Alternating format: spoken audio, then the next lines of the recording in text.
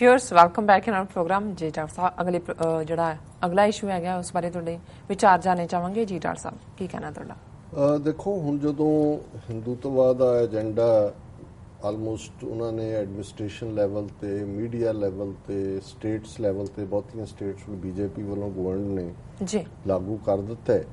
ਤੇ ਇਹ ਸਵਾਲ ਜਿਵੇਂ ਕਨਸਟੀਟਿਊਸ਼ਨ ਜਾਂ ਸੰਵਿਧਾਨ ਨੂੰ ਅਮੈਂਡ ਕਰਕੇ ਹਿੰਦੂ ਰਾਸ਼ਟਰ ਡਿਕਲੇਅਰ ਕਰਨ ਜਾਂ ਇਹ ਵੀ ਕਿ ਵੀ ਅਸੀਂ ਜਿਵੇਂ ਦੁਸ਼ਹਿਰੇ ਦੇ ਮੌਕੇ ਤੇ ਜਿਹਨੂੰ ਇਹ ਵਿਜੇ ਦਸ਼ਮੀ ਕਹਿੰਦੇ ਨੇ ਇਹ ਉਹ ਦਿਨ ਹੈ ਜਦੋਂ ਕਿ ਆਰਐਸਐਸ ਵਾਲੇ ਆਪਣਾ ਫਾਊਂਡੇਸ਼ਨ ਡੇ ਮਨਾਉਂਦੇ ਨੇ।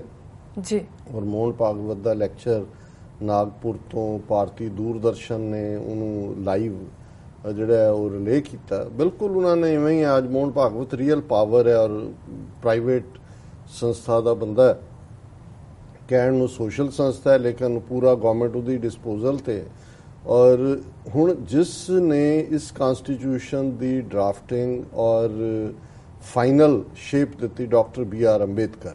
Ji. ਜਿਹੜੇ ਆਪਣੇ ਵੇਲੇ ਦੇ ਬਹੁਤ ਰੌਸ਼ਨ ਦਿਮਾਗ ਜਿਹੜੇ ਇੰਟੈਲੈਕਚੁਅਲ ਸਨ ਸਰ ਕਪੂਰ ਸਿੰਘ ਹੋਰਾਂ ਨੇ ਉਹਨਾਂ ਦਾ ਖਾਸ ਜ਼ਿਕਰ ਕਰਦੇ ਆ ਉਹ ਜ਼ਿਕਰ ਵੀ ਕੀਤਾ ਹੈ। ਔਰ ਅਕਸਰ ਸਾਡੇ ਸਿੱਖਾਂ 'ਚ ਵੀ ਇਹ ਡਿਬੇਟ ਹੁੰਦੀ ਹੈ ਕਿ ਉਹ 9 ਕਰੋੜ ਆਪਣੇ ਦਲਿਤ ਭਾਈਚਾਰੇ ਦੇ ਨਾਲ ਸਿੱਖ ਧਰਮ 'ਚ ਜੇ ਆ ਜਾਂਦੇ ਤੇ ਕੀ ਡਿਫਰੈਂਟ ਹੁੰਦਾ ਸੀ ਉਸ ਬਾਰੇ ਅੱਗੇ ਇੱਕ ਵਾਰੀ ਚਰਚਾ ਕੀਤੀ ਹੈ ਕਿ ਇਹ ਸਾਰੇ ਦਾ ਕਿੰਨਾ ਕੁ ਆਧਾਰ ਹੈ ਔਰ ਕੀ ਇਸ ਦੀ ਹਕੀਕਤ ਹੈ। ਜੀ। ਪਰ ਇਹ ਗੱਲ ਜ਼ਾਹਰ ਹੈ ਵੀ ਡਾਕਟਰ ਅੰਬੇਦਕਰ ਬੇਸ਼ੱਕ ਕਨਸਟੀਟਿਊਸ਼ਨ ਨੂੰ ਫਾਈਨਲ ਟੱਚ ਦੇਣ ਲੱਗਿਆ ਉਹਨਾਂ ਨੇ ਸਵਾਲਾਂ ਦੇ ਜਵਾਬ ਵੀ ਦਿੱਤੇ। ਪਰ ਇਸ ਗੱਲ ਦਾ ਉਹਨਾਂ ਨੂੰ ਬਹੁਤ ਫਿਕਰ ਸੀ ਕਿ ਇਹ ਜੇ ਹਿੰਦੂ ਰਾਸ਼ਟਰ ਬਣ ਗਿਆ ਤੇ ਦਲਿਤਾਂ ਦੀ ਔਰਤਾਂ ਦੀ ਅਕਲੀਅਤਾਂ ਦੀ ਘੱਟ ਗਿਣਤੀਆਂ ਦੀ ਸ਼ਾਮਤ ਆ ਜਾਏਗੀ ਔਰ ਅੱਜ ਬੇਸ਼ੱਕ ਅਜੇ ਕਨਸਟੀਟਿਊਸ਼ਨ ਦੇ ਲਫ਼ਜ਼ ਨਹੀਂ ਬਦਲੇ ਨੇ ਪਰ ਇਨ ਸਪਿਰਿਟ ਆਲਰੇਡੀ ਜਿਹੜਾ ਉਹ ਹਿੰਦੂ ਰਾਸ਼ਟਰ ਬਣ ਚੁੱਕਾ ਹੈ। ਔਰ ਡਾਕਟਰ ਅੰਬੇਦਕਰ ਦਾ ਜਿਹੜਾ ਖਦਸ਼ਾ ਸੀ ਕਿ ਅੱਜ ਦਲਿਤਾਂ ਦਾ ਕੀ ਹਾਲ ਹੈ ਮੁਸਲਮਾਨਾਂ ਦਾ ਕੀ ਹਾਲ ਹੈ ਸਿੱਖਾਂ ਦਾ ਕੀ ਹਾਲ ਹੈ ਔਰ ਔਰਤਾਂ ਦੇ ਜਦੋਂ ਗੈਂਗ ਰੇਪ ਥਾਂ ਥਾਂ ਹੋ ਰਹੇ ਨੇ ਤੇ ਮੋਹਨ ਭਾਗਵਤ ਕਹਿੰਦਾ ਹੈ ਕਿ ਜੀ ਇਹ ਦੋ ਭਾਰਤ ਨੇ। ਇਹ ਅੰਗਰੇਜ਼ਾਂ ਦਾ ਭਾਰਤ ਹੈ ਜਿੱਥੇ ਹੋ ਰਿਹਾ ਦੱਸਣ ਲਈ ਕਿ ਸ਼ਹਿਰਾਂ 'ਚ ਹੋ ਰਿਹਾ। ਹਾਲਾਂ ਜੋ ਕੁਝ ਰੂਰਲ ਇੰਡੀਆ 'ਚ ਹੋ ਰਿਹਾ ਹੈ ਉਹ ਬਿਆਨਿਆ ਵੀ ਨਹੀਂ ਜਾ ਸਕਦਾ। ਕਿ ਕਿਸ ਹੱਦ ਤੱਕ ਡੀ ਜਨਰੇਸ਼ਨ ਹੈ ਔਰ ਔਰਤਾਂ ਦੇ ਉੱਤੇ ਜ਼ੁਲਮ ਨੇ। ਔਰ ਮੈਂ ਥੋੜੇ ਜੇ ਬੀਬੀਸੀ ਦੇ ਰਾਈਟ ਅਪ ਇਸ ਦੇ ਉੱਤੇ ਦੇਖੇ ਸੀ ਪਰ ਮੈਂ ਡਾਕਟਰ ਅੰਬੇਦਕਰ ਹੋਰਾਂ ਦਾ ਥੋੜਾ ਜਿਹਾ ਪਿਛੋਕੜ ਕਿਉਂਕਿ ਅੱਜ ਕੱਲ ਜਦੋਂ ਵੀ ਹਿੰਦੂਤਵਾ ਨੂੰ ਚੈਲੰਜ ਦੀ ਗੱਲ ਹੁੰਦੀ ਹੈ ਸਾਡੇ ਦਲਿਤ ਜਿਹੜੇ ਸਕਾਲਰ ਨੇ ਔਰ ਖਾਸ ਤੌਰ ਤੇ ਹੁਣ ਜਿਵੇਂ ਮੂਲ ਨਿਵਾਸੀ ਮੂਵਮੈਂਟ ਸਾਊਥ ਦੇ ਵਿੱਚ ਦਾ ਕਾਫੀ ਪ੍ਰਭਾਵ ਹੈ ਉਹ ਚੈਲੰਜ ਕਰ ਰਹੇ ਨੇ ਤੇ ਹਰ ਇੱਕ ਦੀ ਲੀਡਿੰਗ ਲਾਈਟ ਜਿਹੜੀ ਹੈ ਉਹ ਡਾਕਟਰ ਅੰਬੇਦਕਰ ਉੱਭਰਦੇ ਨੇ ਔਰ ਸਾਡੇ ਪਿਆਰੇ ਵੀਰ ਮੇਘਰਾਜ ਸਿੰਘ ਖਾਲਸਾ ਜੀ। ਉਹ ਅੱਜ ਕੱਲ ਬੜੀ ਜ਼ਬਰਦਸਤ ਸਾਹਿਤ ਰਚਨਾ ਕਰ ਰਹੇ ਨੇ ਪੋਇਟਰੀ ਵੀ ਉਹਨਾਂ ਦਾ write up question answer format ਦੇ ਵਿੱਚ ਸੀ ਪਿਓ ਪੁੱਤਰ ਬ੍ਰਾਹਮਣਵਾਦ ਨੂੰ ਪੁੱਤਰ ਕੁਐਸਚਨ ਕਰ ਰਿਹਾ ਤੇ ਪਿਓ ਨੂੰ ਕਹਿ ਰਿਹਾ ਵੀ ਤੂੰ ਟੱਕਿਆ ਰਿਹਾ ਅਸੀਂ 4000 ਸਾਲ ਤੋਂ ਇਦਾਂ ਹੀ ਅਸੀਂ ਇਹਨਾਂ ਦੇ ਨਾਲ ਕੀਤਾ। ਸੋ ਡਾਕਟਰ ਅੰਬੇਦਕਰ ਬਹੁਤ ਵੱਡੀ ਸ਼ਖਸੀਅਤ ਨੇ। ਅਸੀਂ ਕਿਸੇ ਵੇਲੇ ਜਦੋਂ ਉਹਨਾਂ ਨਾਲ ਰਿਲੇਟਡ ਡੇ ਖਾਸ ਹੋਏਗਾ ਹੋਰ ਵੇਰਵੇ ਨਾਲ ਜ਼ਿਕਰ ਕਰਾਂਗੇ ਪਰ ਮੈਂ ਕੁਇਕਲੀ ਕਿ ਉਹਨਾਂ ਨੂੰ ਕਿਉਂ ਫੀਅਰ ਸੀ ਕਿ ਜੇ ਹਿੰਦੂ ਰਾਸ਼ਟਰ ਬਣੇਗਾ ਤਾਂ ਕੀ ਹੋਏਗਾ? ਪਰ ਉਹਨਾਂ ਦੇ ਉਹਨਾਂ ਨੇ ਅਮਰੀਕਾ ਔਰ ਇੰਗਲੈਂਡ ਦੋਨਾਂ ਦੇਸ਼ਾਂ ਦੇ ਵਿੱਚ ਹਾਇਰ ਐਜੂਕੇਸ਼ਨ ਲਈ ਔਰ ਉਹਨਾਂ ਨੇ ਇਕਨੋਮਿਕਸ ਦੇ ਵਿੱਚ ਡੀ ਕੀਤੀ ਔਰ ਪਹਿਲੇ ਭਾਰਤੀ ਸਨ ਜਿਨ੍ਹਾਂ ਨੇ ਇਕਨੋਮਿਕਸ ਦੇ ਵਿੱਚ ਡੀ ਕੀਤੀ। ਜੀ। 1913 ਚੋਂ ਕੋਲੰਬੀਆ ਯੂਨੀਵਰਸਿਟੀ ਚ ਆਏ ਇਸ ਲਈ ਇੱਕ ਫੰਕਸ਼ਨ ਇੱਥੇ ਕੋਲੰਬੀਆ ਯੂਨੀਵਰਸਿਟੀ 'ਚ ਪਿਛਲੇ ਦਿਨਾਂ 'ਚ ਹੋਇਆ। ਔਰ ਉਹਦੇ ਲਈ ਬੜੌਦਾ ਦਾ ਜਿਹੜਾ ਰਾਜਕੁਮਾਰ ਸੀ ਉਹਨੇ ਉਹਨਾਂ ਨੂੰ ਵਜ਼ੀਫਾ ਦਿੱਤਾ ਜਾਂ ਉਹਨਾਂ ਦਾ ਖਰਚਾ ਜਿਹੜਾ ਉਹ ਝੱਲਿਆ ਰਾਜੇ ਨੇ। ਔਰ 1916 ਚ ਉਹਨਾਂ ਨੇ ਲੰਡਨ ਸਕੂਲ ਆਫ ਇਕਨੋਮਿਕਸ ਚੋਂ ਜਿਹੜੀ ਹੈ ਇਕਨੋਮਿਕਸ ਦੇ ਵਿੱਚ ਡੀ ਕੀਤੀ। ਔਰ ਜਿਹੜੇ ਜਦੋਂ ਸਾਈਮਨ ਕਮਿਸ਼ਨ ਦੀ ਗੱਲ ਹੁੰਦੀ ਹੈ ਕਿ ਸਾਈਮਨ ਕਮਿਸ਼ਨ ਗੋ ਬੈਕ ਇਹ ਉਹ। ਹੁਣ ਸਾਈਮਨ ਗੋਰਾ ਸੀ ਪਰ ਉਸ ਕਮਿਸ਼ਨ 'ਚ ਕੋਈ ਇੱਕ ਇੰਡੀਅਨ ਮੈਂਬਰ ਜਿਹੜੇ ਸੀ ਉਹ ਡਾਕਟਰ ਅੰਬੇਦਕਰ ਸੀ ਔਰ ਜਦੋਂ ਉਹ ਸਿੱਖ ਬਣਨ ਜਾਂ ਹੋਰ ਪਾਸੇ ਜਾਣ ਦੀ ਕਰ ਰਹੇ ਸੀ, ਉਦੋਂ ਕੀ ਗਾਂਧੀ ਨੇ ਵਰਤ ਰੱਖਿਆ 1932 ਦੇ ਵਿੱਚ ਦਲਤਾਂ ਤੇ ਹਮਲੇ ਸ਼ੁਰੂ ਹੋਏ। ਉਹਨੂੰ ਇਹ ਸੀ ਕਿ ਵੀ ਇਹ ਕਿਤੇ ਸਿੱਖ ਨਾ ਬਣ ਜਾਏ ਜਾਂ ਹਿੰਦੂ ਫੋਲਡ ਚੋਂ ਕਿਤੇ ਦਲਤ ਨਾ ਨਿਕਲ ਜਾਣ ਔਰ ਉਹਨਾਂ ਹਾਲਾਤਾਂ 'ਚ ਜੇ ਅੰਬੇਦਕਰ ਨਵੇਂ-ਨਵੇਂ ਐਮਰਜ ਹੋ ਰਹੇ ਸੀ ਸਿਨੈਰੀਓ ਦੇ ਉੱਤੇ। ਔਰ ਗਾਂਧੀ ਪੂਨਾ ਪੈਕਟ 1932 ਦੇ ਵਿੱਚ ਹੋਇਆ ਜਿਹਦੇ 'ਚ ਇਹ ਮੰਨਿਆ ਗਿਆ ਸੀ ਕਿ ਦਲਤਾਂ ਦੇ ਲਈ ਅਸੀਂ ਰਿਜ਼ਰਵੇਸ਼ਨ ਕਰਾਂਗੇ, ਸੀਟਾਂ ਸੁਰੱਖਿਅਤ ਰੱਖੀਆਂ ਗਈਆਂ। ਔਰ ਪਹਿਲੇ ਕਾਨੂੰਨ ਮੰਤਰੀ ਵੀ ਭਾਰਤ ਦੇ ਡਾਕਟਰ ਅੰਬੇਦਕਰ ਔਰ ਕਨਸਟੀਟਿਊਐਂਟ ਅਸੈਂਬਲੀ ਦੇ ਜਿਹੜੇ ਚੇਅਰਪਰਸਨ ਨੇ, ਉਹ ਵੀ ਡਾਕਟਰ ਅੰਬੇਦਕਰ ਸਨ। ਔਰ ਪਹਿਲੀ ਲੋਕ ਸ- ਪਰ ਹੁਣ ਤੁਸੀਂ ਦੇਖੋ ਇੱਕ ਪਾਸੇ ਉਹਨਾਂ ਨੂੰ ਅੱਗੇ ਰੱਖ ਕੇ ਇਹ ਕੰਮ ਲਿਆ ਗਿਆ ਪਰ ਜਦੋਂ ਪਹਿਲੀ ਇਲੈਕਸ਼ਨ ਆਈ ਉਹਦੇ ਜਿਨ੍ਹਾਂ ਦੇ ਅੰਦਰਲੇ ਸਵਰਨ ਜਾਤੀ ਹਿੰਦੂਆਂ ਨੇ ਪੂਰਾ ਕੋਸ਼ਿਸ਼ ਕੀਤੀ ਔਰ ਉਹਨਾਂ ਨੂੰ ਜਿਹੜੀ ਹੈ ਉਹ ਇਲੈਕਸ਼ਨ ਹਰਵਾ ਦਿੱਤੀ। ਬੰਬਈ ਚੋਂ ਪਹਿਲੀ ਲੋਕ ਸਭਾ ਇਲੈਕਸ਼ਨ 'ਚ ਹੀ ਹਾਰ ਗਏ।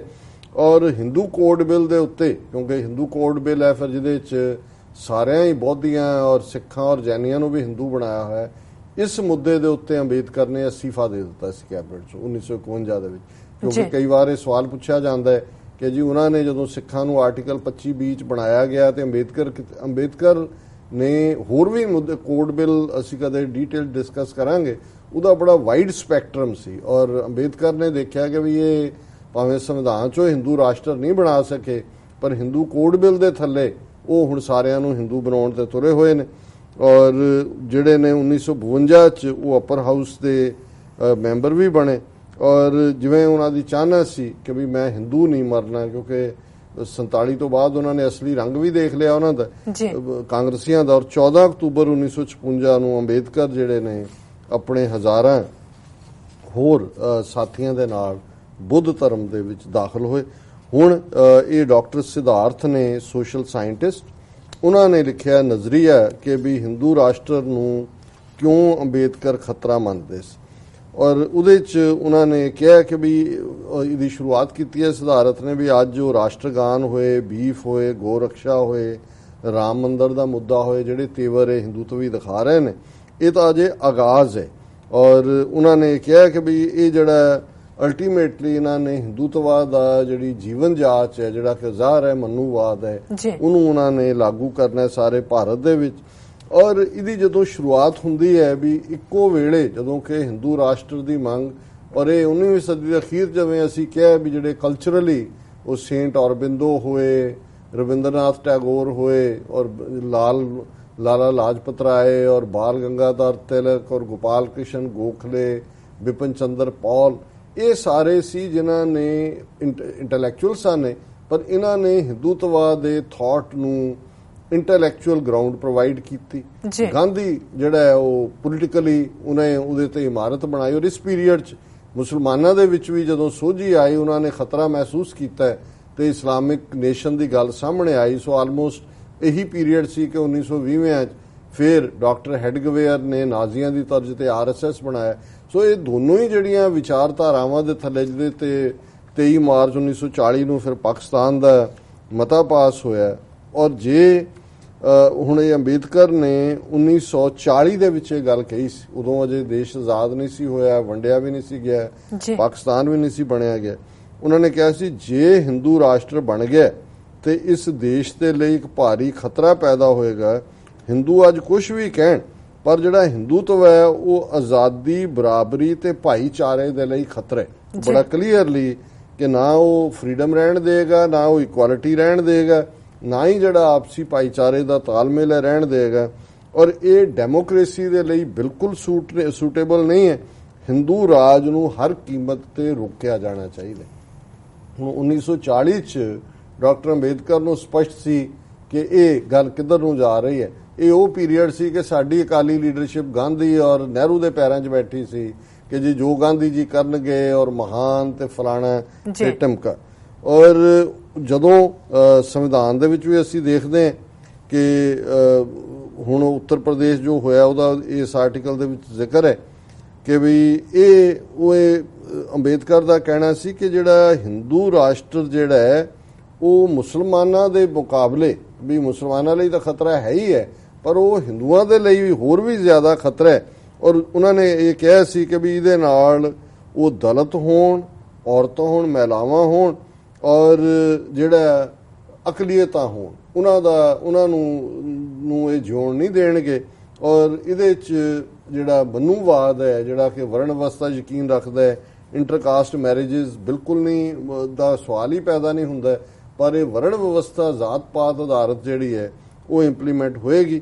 ਔਰ ਇਸੇ ਨੂੰ ਹੀ ਤੋੜਨ ਦੇ ਲਈ ਜਦੋਂ ਹਿੰਦੂ ਕੋਡ ਬਿੱਲ ਪੇਸ਼ ਕੀਤਾ ਗਿਆ ਤੇ ਉਹਨਾਂ ਨੇ ਇਹ ਕਿਹਾ ਕਿ ਵੀ ਇਹ ਹਿੰਦੂ ਰਾਸ਼ਟਰ ਦੇ ਵੱਲ ਗੱਲ ਪ- ਪਹਿਲਾ ਕਦਮ ਹੈ ਔਰ ਉਹਨਾਂ ਨੇ ਇਸ ਮੁੱਦੇ ਦੇ ਉੱਤੇ ਰਿਜ਼ਾਈਨ ਕਰ ਦਿੱਤਾ ਸੀ ਐਜ਼ ਅ ਲਾਅ ਮਿਨਿਸਟਰ ਔਰ ਇਹ ਸਾਰੇ ਜਿਹੜੇ ਨੇ ਉਹਦੇ ਚ ਉਹਨਾਂ ਨੇ ਕਿਹਾ ਸੀ ਕਿ ਵੀ ਜੇ ਹਿੰਦੂ ਰਾਸ਼ਟਰ ਆਇਆ ਉਹਨਾਂ ਨੇ ਇਹ ਕਿਹਾ ਕਿ ਵੀ ਇਹ ਸਾਰੇ ਹੀ ਹਿੰਦੂ ਆਈਡੀਓਲੋਜੀ ਦੇ ਤੱਤ ਦੱਸਦੇ ਨੇ ਕਿ ਹਿੰਦੂ ਸਭ ਕੁਝ ਛੱਡ ਸਕਦੇ ਨੇ ਲੇਕਿਨ ਜ਼ਾਤ ਨਹੀਂ, ਜਿਹੜਾ ਉਹਨਾਂ ਦਾ ਮੂਲ ਆਧਾਰ ਹੈ ਔਰ ਉਹਨਾਂ ਨੇ ਕਿਹਾ ਵੀ ਜੇ ਜ਼ਾਤ ਆਧਾਰਿਤ ਕੋਈ ਸਮਾਜ ਰਹੇਗਾ ਜੀ। ਤੇ ਉਸ ਦੇ ਵਿੱਚ ਕਦੇ ਡੈਮੋਕ੍ਰੇਸੀ ਆ ਹੀ ਨਹੀਂ ਸਕਦੀ। ਮੈਂ ਸਮਝਦਾ ਹਾਂ ਵੀ ਇਹ ਜਿਹੜਾ ਅੱਜ ਜਿਸ ਮੁਕਾਮ ਦੇ ਉੱਤੇ ਆ ਕੇ ਇਹ ਗੱਲ ਖੜੀ ਹੈ ਇਹ ਡਾਕਟਰ ਅੰਬੇਦਕਰ ਨੂੰ ਬਿਲਕੁਲ ਠੀਕ ਸਾਬਤ ਕਰਦੀ ਹੈ। ਔਰ ਇਸੇ ਦੌਰ ਦੇ ਵਿੱਚ ਹੀ ਉਹਨਾਂ ਨੇ ਜਦੋਂ ਰਿਜ਼ਰਵੇਸ਼ਨ ਦੀ ਗੱਲ ਕੀਤੀ ਤਾਂ ਉਹਨਾਂ ਨੇ ਕਿਹਾ ਕਿ ਵੀ ਸੰਵਿਧਾਨ ਸਭਾ ਦੇ ਵਿੱਚ ਹੀ ਉਹਨਾਂ ਨੂੰ ਫਾਈਨਲੀ ਪਹਿਲਾਂ ਤਾਂ ਸਿਰਫ ਡਰਾਫਟਿੰਗ ਦਾ ਜ਼ਿੰਮਾ ਸੀ ਪਰ ਜਦੋਂ ਫਾਈਨਲੀ ਇਹ ਡਿਬੇਟ ਸ਼ੁਰੂ ਹੋਈ ਤਾਂ ਉਹਨਾਂ ਨੂੰ ਕਿਹਾ ਗਿਆ ਕਿ ਵੀ ਤੁਸੀਂ ਫਾਈਨਲੀ ਸਮੇਟੋ ਸਾਰੀ ਡਿਬੇਟ ਨੂੰ ਜਿਹੜੇ ਸਵਾਲ ਨੇ। ਉਹਨਾਂ ਦੇ ਜਵਾਬ ਦਿਓ। ਔਰ ਉਹਦੇ ਜਿਹੜਾ ਉਹਨਾਂ ਨੇ ਭਾਸ਼ਣ ਫਾਈਨਲੀ ਦਿੱਤਾ ਉਹਦੇ ਚ ਉਹਨਾਂ ਨੇ ਬੜਾ ਵਿਦਵਤਾ ਭਰਪੂਰ ਤਰੀਕੇ ਦੇ ਨਾਲ ਇਹ ਕਿਹਾ ਉਹਨਾਂ ਨੇ ਕਿਤੇ ਵੀ ਨਹੀਂ ਕਿਹਾ ਵੀ ਇੰਡੀਆ ਨੇਸ਼ਨ ਨੇ। ਉਹਨਾਂ ਨੇ ਕਿਹਾ ਇਹ ਨੇਸ਼ਨ ਇਨ ਦਾ ਮੇਕਿੰਗ ਜੀ। ਕਿ ਵੀ ਰਾਸ਼ਟਰ ਵੱਲ ਤੁਸੀਂ ਜਾ ਰਹੇ ਹੋ। ਜੇ ਤੁਸੀਂ ਇਹਨਾਂ ਪ੍ਰਿੰਸੀਪਲਸ ਨੂੰ ਜਿਹੜੇ equality opportunities for all no discrimination ਔਰ ਸੈਕੂਲਰ ਬੇਸ ਤੇ ਰੱਖੋਗੇ ਤੇ ਨੇਸ਼ਨ ਬਣੋਗੇ। ਨੇਸ਼ਨ ਇਨ ਦਾ ਮੇਕਿੰਗ ਉਹਨਾਂ ਦੀ ਕਿਤੇ ਵੀ ਕੋਰਟ ਦੇ ਵਿੱਚ ਇੰਡੀਆ ਨੇਸ਼ਨ ਇੰਡੀਅਨ ਨਹੀਂ। ਇੰਡੀਆ ਇਹ ਨੇਸ਼ਨ ਇਨ ਦਾ ਮੇਕਿੰਗ ਉਹ ਹਮੇਸ਼ਾ ਹੀ ਇਹ ਨੇਸ਼ਨ ਇਨ ਦਾ ਮੇਕਿੰਗ ਕਹਿੰਦੇ ਸੀ। ਔਰ ਉਹਨਾਂ ਨੇ ਕਿਹਾ ਸੀ ਕਿ ਵੀ ਇਹ ਜਿਹੜਾ ਇੱਕ ਵੋਟ ਦੀ ਗੱਲ ਤਾਂ ਅਸੀਂ ਕਰ ਰਹੇ ਔਰ ਰਿਜ਼ਰਵੇਸ਼ਨ ਇਸ ਲਈ ਜ਼ਰੂਰੀ ਹੈ ਕਿਉਂਕਿ ਇਹਦੇ ਲਈ ਅਜੇ ਜਿਹੜੀ ਲੋਕਾਂ ਦੀ ਸਾਈਕੀ ਆ ਉਹ ਬਹੁਤ ਗਿਣਤੀ ਨੂੰ ਕਹਿਣਾ ਚਾਹੁੰਦੇ ਸੀ ਕਿ ਵੀ ਜਿਹੜੇ ਅਜੇ ਦਲਤਾਂ ਨੂੰ ਇਨਸਾਨ ਹੀ ਨਹੀਂ ਮੰਨਦੇ ਉਹਨਾਂ ਨੂੰ ਵੋਟ ਦਾ ਹੱਕ ਜੇ ਉਹਨਾਂ ਨੂੰ ਮਿਲ ਵੀ ਜਾਂਦਾ ਤੇ ਇਹ ਉਹਨਾਂ ਨੂੰ ਜੇ ਉਹਨਾਂ ਦੇ ਆਪਣੇ ਨਹੀਂ ਹੋਏਗੀ ਰਿਜ਼ਰਵੇਸ਼ਨ ਤਾਂ ਉਹਨਾਂ ਨੂੰ ਇਹ ਉਹ ਵੋਟ ਦਾ ਹੱਕ ਵੀ ਜਿਹੜਾ ਇਸਤੇਮਾਲ ਨਹੀਂ ਕਰਨ ਦੇਣਗੇ। ਜੀ। ਔਰ ਉਹਨਾਂ ਨੇ ਕਿਹਾ ਵੀ ਮੇਰੀ ਸਭ ਤੋਂ ਵੱਡੀ ਇਹ ਚਿੰਤਾ ਹੈ ਕਿ ਭਾਰਤੀ ਸਮਾਜ ਜ਼ਾਤ-ਪਾਤ 'ਚ ਵੰਡਿਆ ਹੋਇਆ ਹੈ ਇਹ ਕਿਵੇਂ ਇੱਕ ਦੇਸ਼ ਦੀ ਸ਼ਕਲ ਅਖਤਿਆਰ ਕਰੇਗਾ। ਤੇ ਆਰਥਿਕ ਤੇ ਸਮਾਜਿਕ ਗੈਰ ਬਰਾਬਰੀ ਹੁੰਦਿਆਂ ਨੇਸ਼ਨ ਦੀ ਸਰਵਾਈਵਲ ਜਿਹੜੀ ਹੈ, ਉਹ ਪੋਸੀਬਲ ਨਹੀਂ ਹੋਏਗੀ। ਔਰ ਉਹਨਾਂ ਨੇ ਇਹ ਵੀ ਸੰਵਿਧਾਨ ਸਭਾ ਦੇ ਵਿੱਚ ਕਿਹਾ ਕਿ ਵੀ ਜੇ ਇਸ ਗੈਰ ਬਰਾਬਰੀ ਨੂੰ ਖਤਮ ਨਹੀਂ ਕੀਤਾ ਗਿਆ, ਤੇ ਫਿਰ ਜਿਹੜੇ ਸਫਰਰ ਨੇ, ਪੀੜਤ ਲੋਕ ਨੇ, ਉਹ ਇਸ ਢਾਂਚੇ ਨੂੰ ਜਿਹੜਾ ਹੈ, ਉਹ ਤਵਸਤ ਉਹਨਾਂ ਨੇ ਸ਼ਬਦ ਕਿਹਾ ਸੀ ਕਿ ਵੀ ਉਹ ਤਹਿਸ ਨਹਿਸ ਕਰ ਦੇਣਗੇ। ਕਿ ਵੀ ਖਤਮ ਹੋ ਜਾਏਗਾ ਫਿਰ ਇਹ ਸਾਰਾ ਕੁਝ ਹੀ। ਉਹ ਜਿਵੇਂ ਫੈਜ਼ ਅਹਿਮਦ ਫੈਜ਼ ਨੇ ਕਿਹਾ ਕਿ ਵੀ ਫਿਰ ਤਾਜ ਉਛਾਲੇ ਜਾਏंगे ਫਿਰ ਤਖਤ ਗਿਰਾਏ ਜਾਏंगे ਲਾਜ਼ਮ ਹੈ ਕਿ ਹਮ ਵੀ ਦੇਖेंगे ਕਿ ਜਦੋਂ ਕਿਸੇ ਸਿਸਟਮ ਦੇ ਵਿੱਚ ਜਸਟਿਸ ਨਹੀਂ ਹੁੰਦਾ ਤੇ ਫਿਰ ਤੁਸੀਂ ਜਿੰਨਾ ਮਰਜ਼ੀ ਤਾਜਦਾਰ ਬਿਠਾ ਦਿਓ ਜਿੰਨਾ ਮਰਜ਼ੀ ਉਹਨੂੰ ਤਖਤ ਨਸ਼ੀਨ ਕਰ ਦਿਓ।